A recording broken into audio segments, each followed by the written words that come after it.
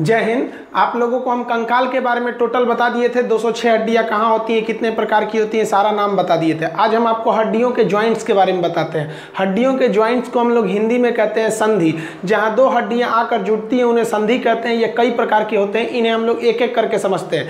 देखिए, जो सबसे पहले टाइप की जो ज्वाइंट होता है, उसे हम कहते हैं इमूवेबल वो मूव नहीं कर सकता है। उसे हिंदी में हम लोग एक और उसका नाम होता है फाइब्रस ज्वाइंट वैसी हड्डी जो जुड़ी तो है लेकिन कभी भी हिल डुल नहीं सकती है। इसे हिंदी में कहते हैं अचल संधि, यानी चल नहीं सकती है रेसेदार संधि भी उसे कहा जाता है। ये हिल ही डुल नहीं सकती है, जैसे दांत। दांत भले हड्डी नहीं है, लेकिन वो जबड़ा से पकड़ा हुआ है कभी दांत हिलेगा नहीं है हिलने लगा ना तो समझिए कि अब 10-15 दिन में टूट जाएगा।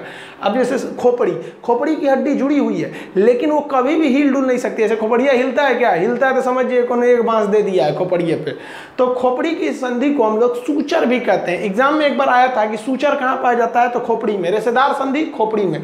तो हम लोग का ये इमूवेबल को हम क्या कहेंगे? फाइब्रस अचल संधि या फिर रेसेदार संधि। दांत और खोपड़ी में पाई जाती है। आप यहाँ खोपड़ी के ऊपर ये देख रहे होंगे, ये स्कल वाला हिस्सा। स्कल में कितनी हड्डी हड्डियाँ होती हैं, हम आपको बता चुके हैं इससे पहले वाले चैप्टर में। ये देखिए, ये सारी जो हड्डी हैं, एक साथ तो है नहीं, ये क्रेनियम जो बॉक्स है, ये, इसमें तो आठ हड्डियाँ होती हैं कहाँ हिल डुल सकती हैं? ये एक तरह का बॉक्स बनाती हैं जो सेफ्टी देते हैं अंदर के ब्रेन को। तो ये कौन सी संधि हो गई भाई? ये इमूवेबल हो गई, यानी अचल संधि हो गई फाइब्रस या फिर सूचर संधि। दूसरी जो कैटेगरी आती है हड्डियों के ज्वाइंट्स की, वो आती है स्लाइटली मूवेबल आपको पता है स्लाइटली मतलब हल्का सा मूव करेगा। स्लाइटली मूवेबल का एक दूसरा नाम है, जिसे कहते हैं कार्टिलेजीनियस। इसमें कार्टिलेज की मात्रा ज़्यादा रहती है। ये अपूर्ण संधि है। मतलब देखिए, ना पूरी तरह से ये चल फिर सकती है और ना ही इसकी तरह एकदम एक जगह रह सकती है। ये हल्का सा मूवमेंट देती है, बहुत हल्का सा इसलिए इसे कहते हैं अपूर्ण संधि। अब ये कहाँ पाया जाएगा?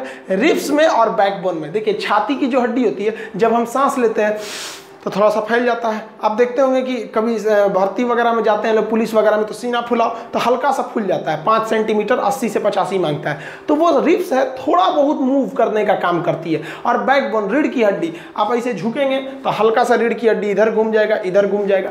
तो ये जो है, हल्का घूमने का काम करता है, इसलिए इसे कहते हैं स्लाइटली मूवेबल ये रिप्स और बैकबोन में पाया जाता है। इस, इन हड्डियों में क्या खासियत है कि इनके लेयर दर लेयर कार्टिलेज यानी उपास्थि की संख्या पाई जाती है, जिस वजह से इसे कार्टिलेजीनियस कहते हैं। इसमें एक और खासियत, अगर ये हड्डी टूट गई ना तो फिर आपको प्लास्टर की कुछ खास आवश्यकता नहीं पड़ती रिप्स वगैरह में नहीं देखते हो किसी की छाती में प्लास्टर हुआ है, वो अपने से तो मेंटेन कर लेता है। लेकिन रीढ़ की हड्डी टूट गई तो मेंटेन ही नहीं हो पाता है। रीजन क्या है? उसमें छब्बीस हड्डियाँ इतनी छोटे छोटे इतने कॉम्प्लेक्स हैं कि वो जल्दी जुटती नहीं है। यहाँ आप देखिए रिप्स के ये जो येलो वाला एरिया ये कार्टिलेज है। हम ये रिप्स जब पढ़ा रहे थे तो आपको बताए थे, ये कार्टिलेज की होती हैं। ये बहुत हल्का सा मूव करती हैं। रीढ़ की हड्डी भी देखेंगे, ये हल्का सा ऐसे घूमी रहती है इस टाइप का, और इसके परत दर परत कार्टिलेज है एक हड्डी है, फिर कार्टिलेज हड्डी है कार्टिलेज कार्टिलेज तो हम बोन चैप्टर स्केलेटन में पढ़ाए हैं।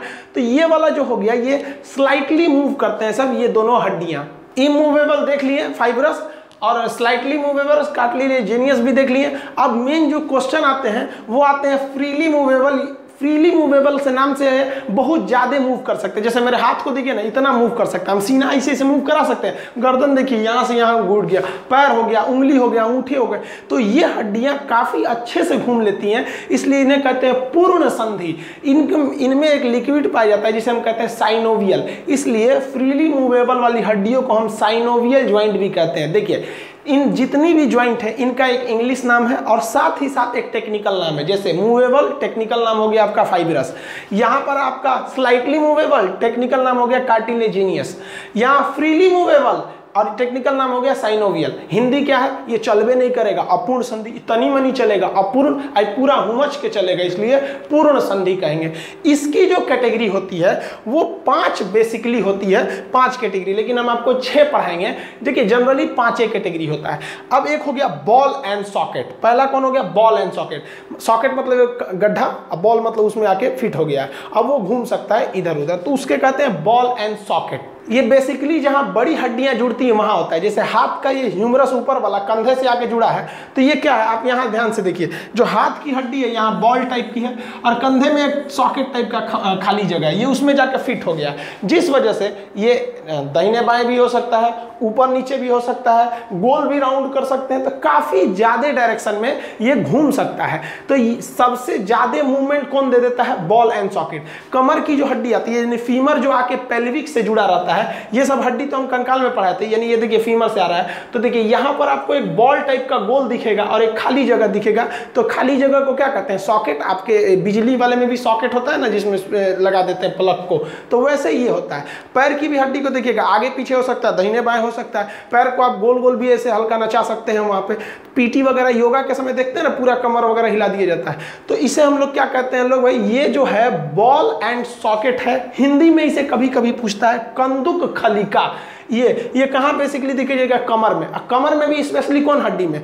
ये नीचे से जो आ रही है फीमर और ये पेल्विक और कंधा में ये वाला ह्यूमरस हो गया, कंधा से आके जुड़ जाता है। इसी फ्रीली मूवेबल का जो दूसरा कैटेगरी है, वो साइडल है। अब आप थोड़ा सा ध्यान से समझिएगा। बॉल एंड सॉकेट का जो लास्ट अक्षर है, वो एस से है। तो एस से ही याद रखिएगा सैडल ये सैडल जो है ना, वो कुछ और नहीं है, बल्कि बॉल एंड सॉकेट का ही एक छोटा रूप है। ये बॉल एंड सॉकेट बड़ी हड्डियों में पाया जाता है। इसी का छोटा रूप है सैडल जो, जो बहुत मतलब साइज़ में छोटा होता है जैसे अंगूठे की हड्डी। आप बाकी उंगलियों की तुलना में अंगूठा को ज़्यादा घुमा सकते हैं। इधर भी आ सकता है हल्का सा इधर भी चला जाता है, इधर भी चला जाता है। तो ये एक तरह से बॉल एंड सॉकेट का ही है, लेकिन थोड़ा सा उसका छोटा रूप है अंगूठे की हड्डी। आप इसको कहीं भी ले जाए। बाकी उंगलियों की तुलना में आप अंगूठा को ज़्यादा फ्री कर सकते हैं। इसीलिए तो अंगूठा को उंगली में नहीं रखते, वरना चार ठो फिंगर एक ठो थम कैसे हो जाएगा? थोड़ी अलग कैटेगरी इसलिए नाम रख दिया गया इसका अलग। सैडल में क्या आएगा? अंगूठा। लेकिन कह देगा ये किसका एक छोटा सा रूप है तो वो किसका है? बॉल एंड सॉकेट का छोटा रूप है सैडल याद कैसे रखेंगे? बॉल एंड सॉकेट का सेकंड अक्षर एस सॉकेट से है तो उसी से मैच करा दीजिएगा सैडल अब जो तीसरी कैटेगरी देखते हैं, वो हिंज बोन की देखते हैं। हिंज बोन को हम हिंद हिंज जो ज्वाइंट होता है हिंज को हम लोग हिंदी में कहते हैं कब्जा संधि।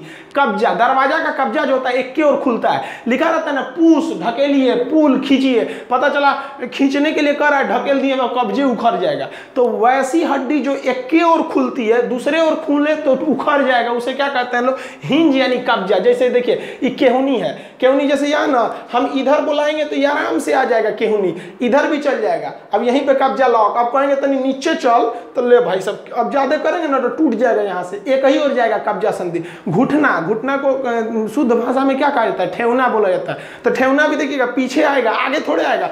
ठीक हुआ आगे नहीं आता, वरना चलते वक्त आगे आ जाता, आदमी उलट जाता, ऐसे ही करके। इसमें आप देखेंगे तो केवनी वगैरह में हो गया यहाँ पे। तू सब लड़किया को देख रहा है सब दूसरा फ़ोटो लगाते हैं।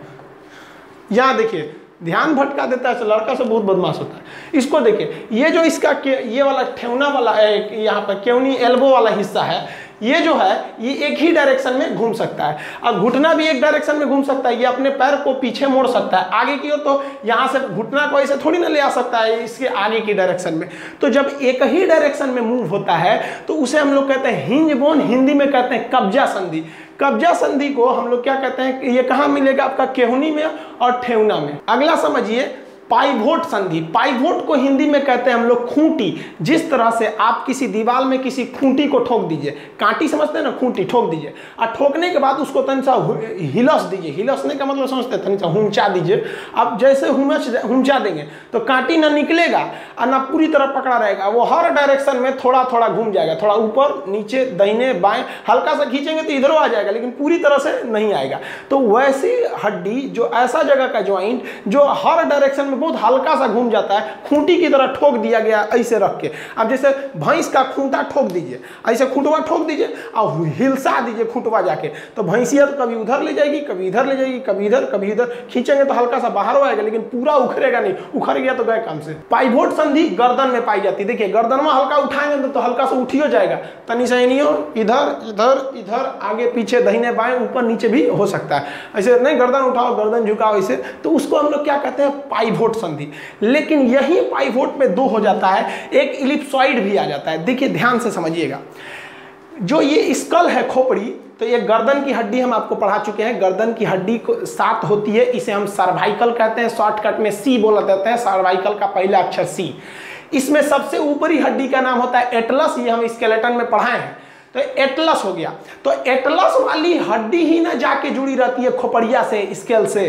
तो देखिए यहाँ पे, ये आदमी है तो जब कभी भी स्कल और एटलस एटलस को हम लोग क्या कहते हैं? सीवन कहते हैं। तो स्कल और एटलस जहाँ जुड़ा रहता है, यानी एकदम ये वाला पोर्शन, ये वाला जो पोर्शन होता है ना, इसे हम लोग कहते हैं इलिप्सॉइड। ये क्या करता है? ये गर्दन को आगे और पीछे ले जाता है। ये वाला जो मूवमेंट हो रहा है, ये किसके वजह से हो रहा है? स्कल और एटलस के वजह से हो रहा है। तो उसमें क्या कहते हैं? इलिप्साइड कहते हैं। ये ऊपर नीचे जो हो रहा है। अब एक तो होता है ना, खाना खाए हो। हाँ तो ये क्या हो गया? इलिप्साइड की वजह से। खाना खाए हो नहीं। ये दहीने बाएँ भी है। तो ये जो दहीने बाएँ हो रहा है ना ये भी एक मूवमेंट हो रहा है। ये क्या ये मूवमेंट क्या है? तो ये मूवमेंट है जो पहल की हड्डी है गर्दन की उसमें और गर्दन की दूसर की हड्डी है उसमें। यानी पहल की हड्डी का नाम हो गया एटलस और दूसरा का, का नाम होता है एक्सिस तो एटलस जो है वो सी पहली हड्डी और एक्सिस जो है वो सी टू दूसरी हड्डी सी मतलब सर्वाइकल गर्दन। तो इसमें जो होता है ये हड्डी हमारी गर्दन को लेफ़्ट और राइट घुमाने में मदद करती है। तो इसको हम लोग कहते हैं पाइवोट संधि खूंटी संधि। यानी जो ऊपर वाला है उसे हम लोग क्या कहेंगे? इलिप्सॉइड, और जो जस्ट उसके नीचे वाला उसे क्या कहते हैं? पाइवोट। पाइवोट क्या करता है? दहीने बाएँ इलिप्सॉइड क्या करता है? ऊपर नीचे का काम करता है, खूंटी संधि। ये बहुत ही रेयर कभी पूछता है, हालाँकि यही होता है। इसीलिए हम बोले थे ना कि पाइवोट को दो टाइप में हो जाता है। तो पाइवोट समझ में आ गया आप लोग को? आप बताइए फ्रीली मूवेबल का तो लगभग लगभग सब देख लिए। एक बच गया ग्लाइडिंग ग्लाइडिंग क्या होता है? एक हड्डी दूसरी हड्डी पर केवल रखी रहती है। वो केवल एक दूसरे पर थोड़ा सा फिसलती है। उसे हम लोग क्या कहते हैं? ग्लाइडिंग जैसे आप देखिए, कलाई की हड्डी। ये एक दूसरे पे फिसल रही है। हथेली की हड्डी। देखिएगा, हर हड्डी एक दूसरे पर रखी हुई है, फिसलती है। हथेली। बचपन में हम लोग क्या करते थे लोग? किसी की हथेली को ऐसे पकड़ लेते थे आगे से। ताकि उसको फिसलने का मौका ना दे। ऊपर से दबा देते थे। अब उसका बाप बाप चिल्लाता था। क्योंकि ये ग्लाइडिंग हड्डी है इसको फिसलना ज़रूरी है एक दूसरे के ऊपर। आप ऐसे भी हथेली वाली दे ना यहाँ पर। तो क्या करते थे लोग उसको यहाँ से पकड़ के इधर से अंगूठा से दबा देते थे कि फिसले नहीं। और ऊपर से दबाते थे वो चिल्लाने लगता था। ये एक दूसरे पे फिसलती है तभी तो हम अपने औजूरी औजूरी समझते हैं इसको जो जो कटोरवा टाइप का हो गया। बचपन में आदमी पानी पीता था स्कूल में जाके। मुँह लगा के पी दो तो सब गा, गाली देने लगता था। अरे मुँह क्या लगा दिया नल में? औजूरी से पियो। तो जो अजूरी जोड़ रहे हैं, ये कौन सी है? ग्लाइडिंग है। आपकी हड्डी फिसल रही है ऐसे छिटार देंगे तो तनिको पानी नहीं आएगा। तनी समेटिए इसको अजूरी। एक हक आदमी का अजूरी लगता है, सूप है, एकदम बड़ा का अजूरा होता है, इतना बड़ा। तो ये क्या है? ये कैसे मुड़ रहा है? ग्लाइडिंग ग्लाइडिंग जो घूमता है, इसी वजह से इसमें कुछ सामान अमान हम लोग रख सकते हैं। जैसे देखिए, ये अंगूठी अंगूठी पहनी है, लग रहा है कोनो महिला का हाथ है यहाँ पे। इतना। तो ये देखिए तो ये क्या हो गया भाई साहब? कलाई की हड्डी और ये जो हथेली वगैरह की जो हड्डी है, ये केवल एक दूसरे पे ऊपर फिसलती है। इसे हम लोग क्या कहते हैं? ग्लाइडिंग ज्वाइंट के नाम से जानते हैं। कलाइया हथेली की हड्डी यहाँ पर, ये वाला हो गया। इस तरह से आप देखें कि हड्डियों का इंग्लिश नाम, उसका टेक्निकल नाम, इसमें सबसे कॉम्प्लिकेटेड था फ्रीली मूवेबल ये छोटी हड्डियों में होता है। आप इसका एक स्क्रीन लेना चाहते हैं तो इसका स्क्रीन ले लीजिए। फिर हम आपको हड्डियों के बारे में बताते हैं, गठिया वगैरह कैसे हो जाता है। हड्डियों के बारे में कुछ और समझिए कि अगर कहेगा कि हड्डियों में कौन से टाइप का उत्तक यानी कौन सा टिश्यू पाया जाता है तो तरल संवहनीय उत्तक या संवहनीय उत्तक पाया जाता है। पूरी संवहनीय उत्तक उसे कहते हैं जो शरीर को जोड़ के रखता है, जैसे ब्लड पूरे शरीर में घूम रहा है, हड्डी पूरे शरीर में है तो संवहनीय उत्तक का बना होता है। हड्डियों के अंदर जहाँ ज्वाइंट होती है, उस ज्वाइंट पर एक लिक्विड पाया जाता है, जिसे हम लोग कहते हैं साइनोवियल द्रव या साइनोवियल लिक्विड ये क्या करता है? किसी भी हड्डी को ईजिली मूव करने के लिए मदद करता है। जैसे दरवाज़ा में जो कब्जा होता है तो आदमी थोड़ा सा गिर ग्रीस पोत देता है, नहीं तो तेल उल डाल देता है। दरवाज़ा वगैरह में देखते हैं ना मशीन वशीन में तेल उल डाल दिया जाता है। इससे क्या होता है, वो फ्रीली मूव करता है। फ्रीली मूव करेगा तो दिक्कत नहीं है। और वही अगर द्रव सूख गया है ना तो वहाँ भर जाएगा यूरिक एसिड जहाँ यूरिक एसिड शरीर में बढ़ा, वो यूरिक एसिड इस साइनोवियल को घटा देगा। अब वो लिक्विड घट गया। अब आपके दरवाज़ा में ग्रीस घट गया तो दरवाज़ा खोलेंगे तो चोए चोए बोलेगा। वैसे ही आपके शरीर में जैसे बुढ़ापा में यूरिक एसिड बढ़ेगा साइनोवियल द्रव घट जाएगा। अब आपकी हड्डी चोए चोए में बोलेगी। तो उसी को कहते हैं लोग गठिया हो लो बाबू को। तो देखिएगा, बूढ़ा बुज़ुर्ग आदमी को गठिया हो जाता है, घुटना में बैठिए नहीं पाता। बैठेगा तो चोए चोए करेगा तो पकड़ के बैठेगा। अरे बाप हो! लाठी ले ले रहेगा। अब बैठ जाएगा तो उठेगा एकदम कहर कहर के। वे बुढ़ापा बड़ी खतरनाक होता है। तो गठिया में यूरिक एसिड बढ़ जाता है। अब एक चीज़ ध्यान से समझिए, टेंडम और लिंगामेंट क्या हो जाते हैं सब? टेंडम किसे कहा जाता है? जहाँ मांसपेशी, आखिर मांस जो है, वो हड्डी से पकड़ा है कि नहीं? ऐसे अलगे थोड़े ना झूल रहा है। तो जहाँ मांस और हड्डी जुड़े रहते हैं, उसे हम लोग कहते हैं टेंडम आप इसे शॉर्टकट में अगर लिखना चाहें तो इसे आप मैट लिख सकते हैं। कैसे? देखिए एम से मांस और ए से अस्थि, यानी हड्डी और टी से टेंडम मांस और हड्डी जहाँ मिलते हैं, उसे टेंडम कहते हैं। अगर आप चिकन बनाते होंगे कुकर में, और अगर 12 सीटी लगा दीजिए, जहाँ 12 सीटी लगा देंगे ना तो टेंडम जितना है वो गल के खत्म हो जाएगा। तो कुकर जब खोलेंगे ना तो हड्डी अलग मिलेगा, मांस अलग मिलेगा। हड्डी और मांस को कौन जोड़ के रखता है? टेंडम। किसी किसी में टेंडम बहुत ज़्यादा होता है। तो कोई कोई मुर्गी लाइएगा ना, बूढ़ मुर्गी, उसे सुरा का मीटवे नहीं गलता है। उसका गलबे नहीं करेगा घींचना पड़ेगा इसे उसको खींच के। कहे के लिए वो बूढ़ मुर्गी का टेंडम जो है तगड़ा था, यानी हड्डी से मांस बढ़िया से पकड़ा हुआ था। समझ में आ गया? बुढ़ापा में टेंडम वगैरह गल जाता है, देखने झूल जाता है आदमी का शरीर एकदम। अब लिंगामेंट क्या होता है? जहाँ हड्डी हड्डी से जुड़ी रहती है, उसे हम लोग क्या कहते हैं? लिंगामेंट। जैसे आप इस एग्ज़ाम्पल में देखिए, ये हड्डी और ये हड्डी। यहाँ मांस की एक परत है तो ये तो हो गया भाई साहब टेंडम। लेकिन यहाँ देखेंगे अगर, एक हड्डी ये है और ये हड्डी है तो इसके बीच के खाली जगह को हम साइनोवियल कैविटी यानी खाली जगह गुहा कहते हैं। और एक हड्डी जब दूसरी हड्डी से आके जुड़ जाती है तो हड्डी हड्डी के जुड़ने से हम लोग कहते हैं लिंगामेंट कहते हैं।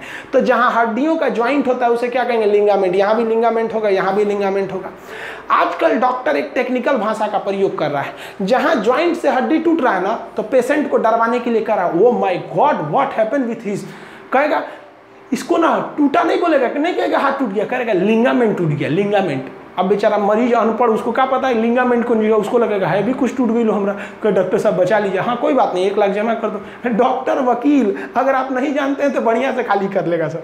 तो ये क्या है कि अगर ज्वाइंट से टूटा है कहीं से, ठेवना वगैरह से टूट गया ज्वाइंट से तो वहाँ का लिंगामेंट टूट गया तो डॉक्टर कहता है, लिंगामेंट टूट गया। और बिचवा में से कहीं टूट गया तो कहता है कि फ्रैक्चर हो गया फ्रैक्चर अब तो कुछ दिन में ये भी कहेगा सर कि लिंगामेंट टूट गया यहाँ पे। तो लिंगामेंट जो होता है, वो हड्डी और हड्डी के ज्वाइंट होता है। मांसपेशी में पढ़ाएँगे, एक मांस भी दूसरे मांस को पकड़ कर रखता है।